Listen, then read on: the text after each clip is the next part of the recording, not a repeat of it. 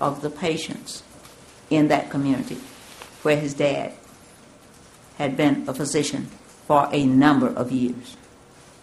How many years was his His- dad a physician? Oh, Overruled. You may answer. His clinic was opened in 1968 on West Montgomery. And he died in 2003. Yes, sir.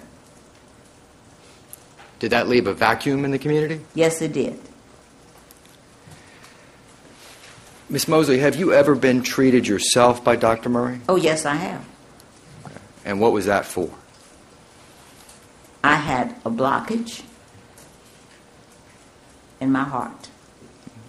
And this was in, in your arteries? Is that right? Yes. What procedure was given to you by Dr. Murray? Stents were placed. And they were placed in your arteries. Yes. Your, has your husband been treated by Dr. Murray? Oh, he was my husband's doctor. Yes, before I was. Okay. And, uh, and what procedures did Dr. Murray do for your husband?